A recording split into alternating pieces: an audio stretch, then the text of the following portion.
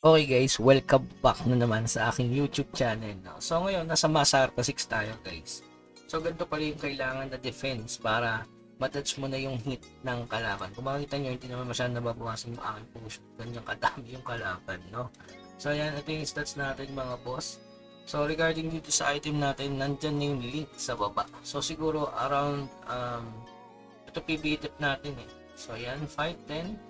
So, kung 10 yan, trusted. So 346 trip lang pala dito sa Masarta 6. Okay, nakauna nga rin ako ng 8 Sowaya Minales tayo. Pass drop dito guys. Siguro pass drop. Nakakuha tayo ng higher zero advancement dito. So, tapos ang mahal ng loot dito guys. Ito napulot natin. Sa World Dungeon yan, napulot natin mga boss, di ba? So, kaya kaya natin magpa-level dito mga tier 2P mga boss. Yan. Nakita nyo naman, dalawa lang yung tier 2 natin dyan. Ito tier 1 lang to. So, good enchant, good farming. So, kaya-kaya. So, walang tao masyado dito unless ipigil ka. So, ayan. Dami nakakuha, oh.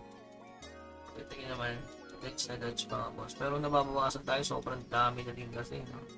Pero ang, ang lupet, para akong ano, big boss. Okay?